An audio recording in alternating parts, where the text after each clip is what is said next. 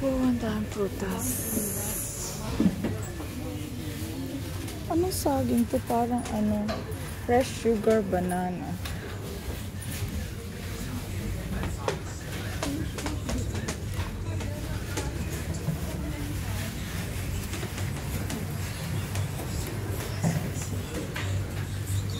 Ang ang cute nito, Obi.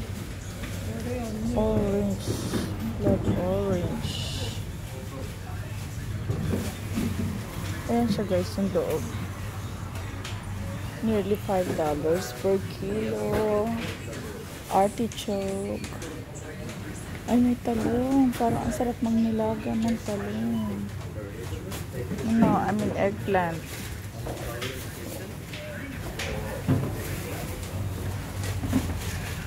Yes, Corella Pier.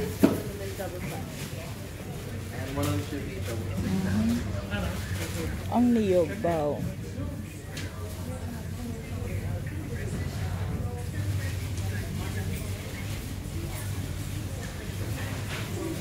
Mm-hmm.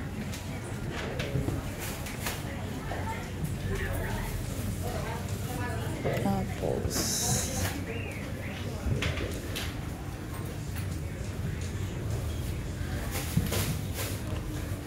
Ito grapefruits guys. Oh, grapefruits. May pomelo din sila. Oh.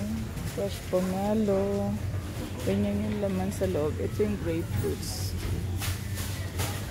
Ang dami naman. Kamote. Parang ang sarap ng kamote rin. Mhm. Diba guys, ang dami nilang prutas. Sama na natin ang mga gulay.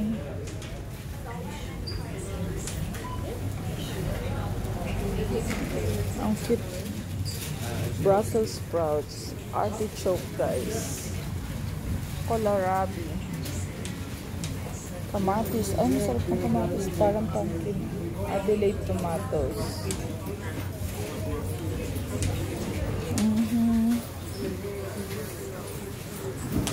So, ayan nga, dyan tayo. Ang dami nila. Ah, meron silang ano, white zucchini. Ang kusa, kung sa Arabic, kusa. Diba? Tapos asparagus. Mhm. Snap peas. Daming gulay. Gulay is everywhere. Mga mushroom.